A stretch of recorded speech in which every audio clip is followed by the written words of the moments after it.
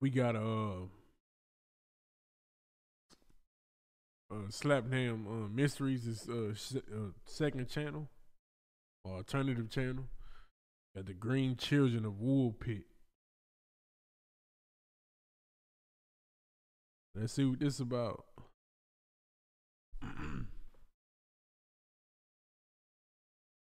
In the annals of English folklore, one of the most enduring and perplexing tales Yeah, is that of the Green Children of used to this Woolpit. The story, set in the 12th century, tells of the mysterious better with appearance practice, of two though. children with You green tinged skin in the I village of. Woolpit, So, Suffolk. Despite their ostensibly alien mess up my appearance and unfamiliar language, the two children were recognizably human, sparking speculation and not, you know, intrigue that persists to this day.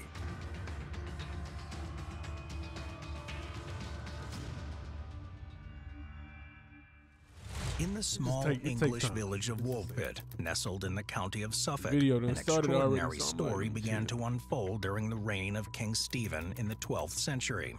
The tale, passed down through generations, was preserved in the writings of two notable chroniclers, William of Newburgh and Ralph of Coggeshall. According to their chronicles, two unusual children, a brother and a sister, seemingly appeared out of nowhere by one of the village's wolf pits, from which Woolpit derives its name. Their skin bore a green hue, unlike anything the villagers had ever seen. Their clothes were made of unfamiliar materials, and they spoke an unknown language that no one in Woolpit could understand. Confusion and curiosity naturally ensued amongst the locals as they tried to decipher the origin of these mysterious children.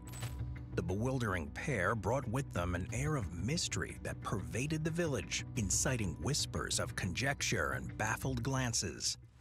Equally puzzling was the children's refusal to eat. Despite apparent hunger, they rejected all types of food offered to them, further deepening the intrigue surrounding their sudden appearance.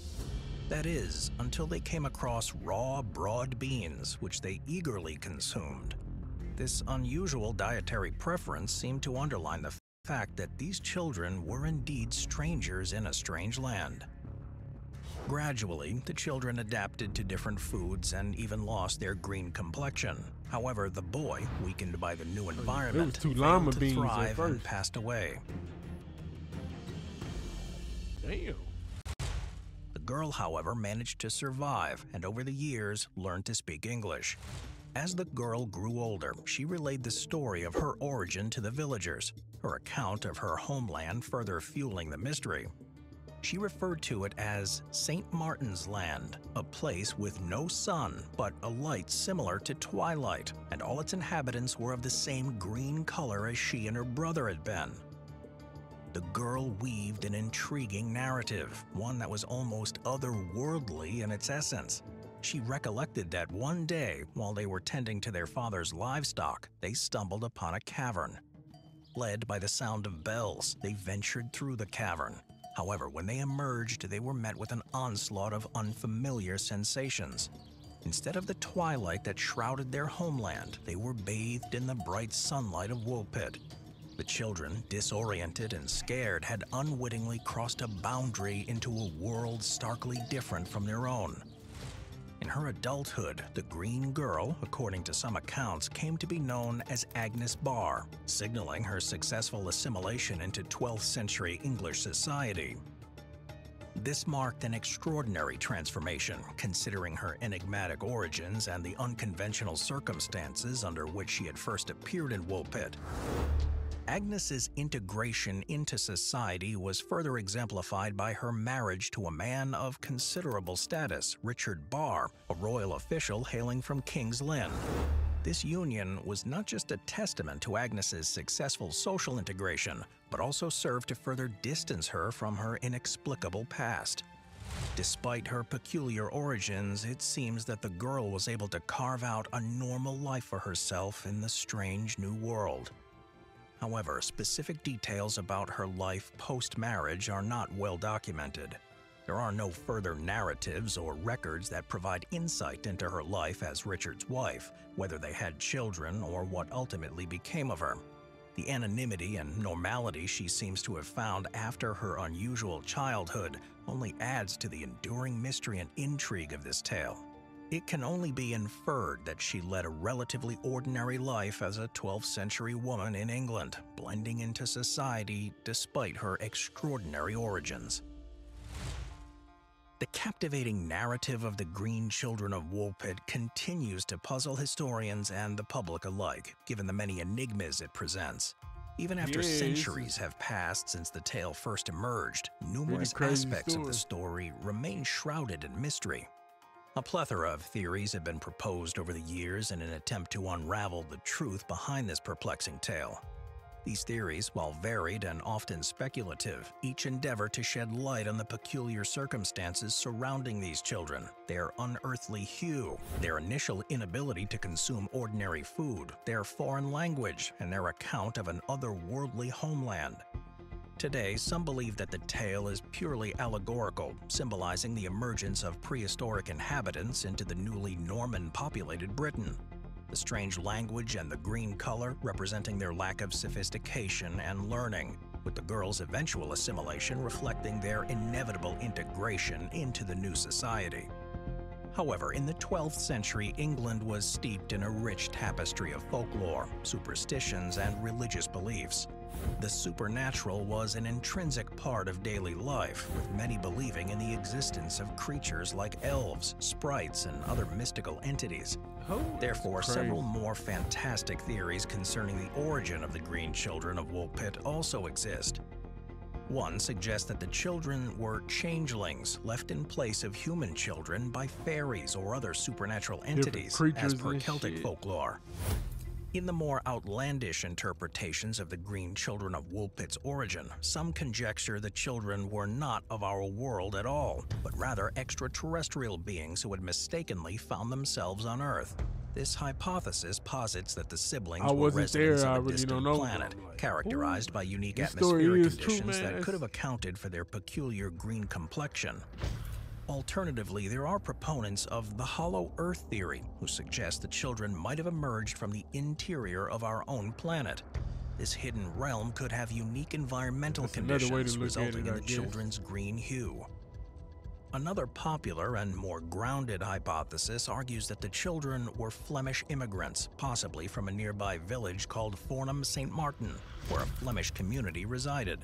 This theory could also explain why the language the children spoke was unrecognizable to the townsfolk of Woolpit, as they might have actually been speaking Dutch. As for their green skin, this could have been the result of what we now know as hypochromic anemia, a condition caused by malnutrition. Historically, hypochromic anemia was referred to as chlorosis or green sickness due to the unique Green greenish hue sometimes observed in patients' skin. Besides this distinctive coloration, individuals with this condition often exhibit symptoms such as fatigue, shortness of breath, indigestion, headaches, and an inconsistent or reduced appetite, perhaps explaining the children's initial aversion to food. As this theory attempts to solve the mystery of the Green Children of Woolpit using more scientific means, there has actually been several medically documented occurrences of unusually colored people throughout history. The Blue Fugates, also known as the Blue People of Kentucky, for example, or an Appalachian family with a very unique genetic trait that gave them blue skin. This rare condition, which can be traced back to the Fugate family that settled near Hazard, Kentucky in 1820, was caused by a disease called methemoglobinemia. Methemoglobinemia is a blood disorder in which an abnormal amount of methemoglobin, a form of hemoglobin, is produced. Hemoglobin is responsible for transporting oxygen in the body and is generally red due to the iron contained within it. However, when methemoglobin is present, the blood becomes bluish or chocolate brown, hence the skin appears blue. The family's story came to light in the early 1960s when several members were studied by Dr. Madison Cawein, a hematologist at the University of Kentucky's medical clinic. After extensive research and blood testing, Dr. Cawein was able to trace the family's unique condition to methemoglobinemia. Though the exact cause behind the green children's skin color remains a mystery, the story of the blue fugates illustrates that sometimes rare anomalies can occur. Could it be that the green children of Woolpit suffered from some sort of similar affliction?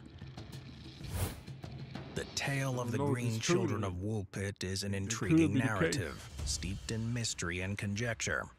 Whether seen as alien visitors, disoriented immigrants, or a scientific anomaly, their tale offers a tantalizing peek into the ways in which our ancestors tried to make sense of the unknown and continues to inspire our curiosity and imagination today.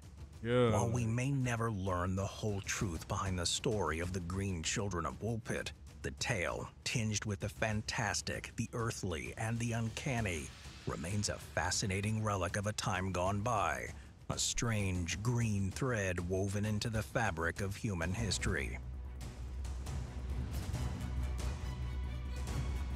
nice video, man.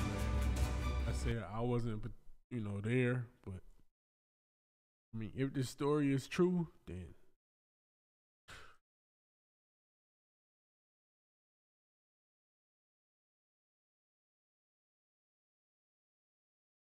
if this story is true, man. I don't know, but man.